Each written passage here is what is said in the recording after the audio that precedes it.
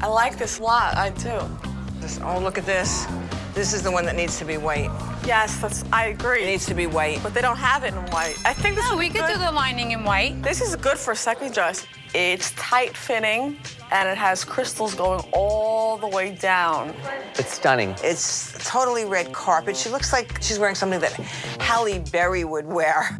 And what's the price on this dress? 24,000. Oh my God. On one dress and one night?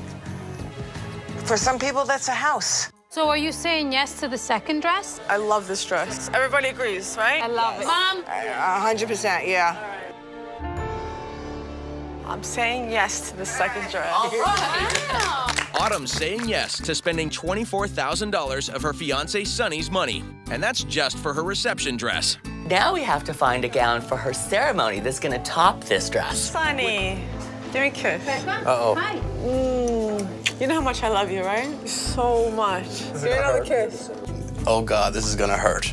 This is really, really gonna hurt. Autumn's bill includes her two dresses, an $8,000 veil, and the alteration charges. So grand total is fifty thousand one hundred eleven dollars and sixty-two cents.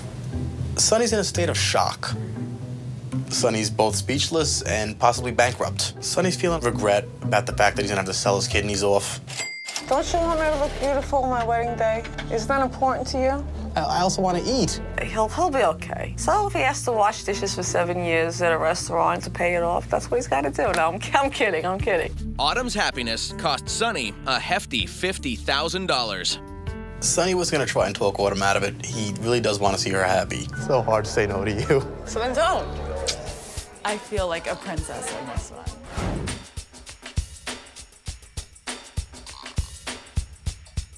Mom, what do you think? I love it. Gorgeous.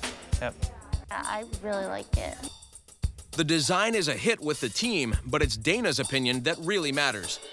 I love this. It's what I pictured her in. It has just the right amount of bling. Love these on the top. Like, you know, like the princess. And I knew when her face lit up, I was like, this is it. But everybody likes this one, right? Gorgeous. Everybody's on board, including the bride. I, I love this. This is a dress. Is this your dress? Yes. It is. My family loves the dress. I feel like a princess. As soon as I put it on, I just couldn't stop smiling. This is my bride, Leah. Leah Shine. Nice to meet you.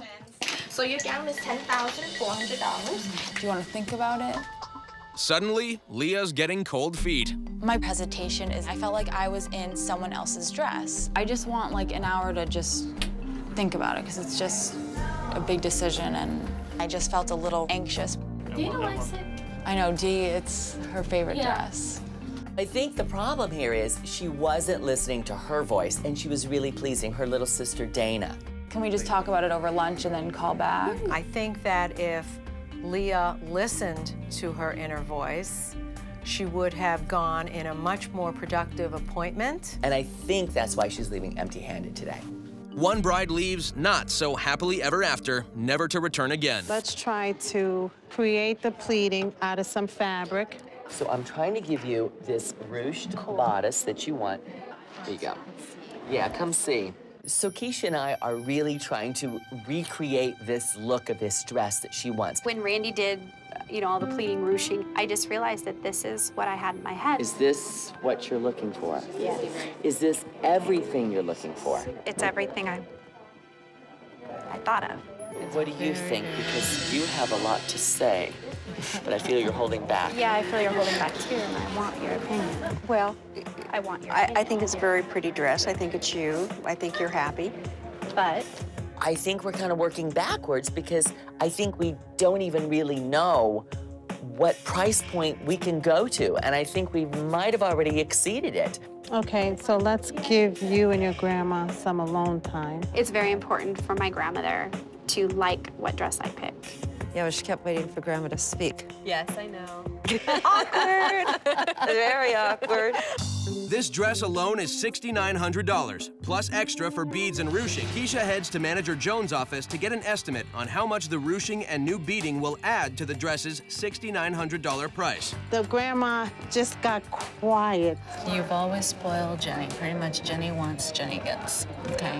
If I buy Jenny a dress here, I think Mike's gonna shoot me. My family has really provided well for her, and I think that it's almost expected because this is the way it's always been. You're paying for it, you need to be comfortable. And Jenny will understand. Jones calculated the price of the custom changes to this dress. So we are taking this top and putting this yeah. Underneath comes kamsa. Whenever you have to do a pattern change on a dress, and that's gonna be an added charge. The dress with the changes becomes 8,500. It's a lot of money. I'm trying to be the wise grandmother and, and yet not squash, hold back on her dreams. Okay, so now with all of that, what would you like to do? Tell me, sweetheart. I think what we'd like to do is go have lunch and then Great idea. we'll make our decision Okay. over lunch rather than Just relax, so you're not and then we can and- go over everything and decide everything. My grandma and I have had certain conversations, and I don't think I'm going to be purchasing the dress today. I just feel that she's used to the word yes a little bit more than the word no.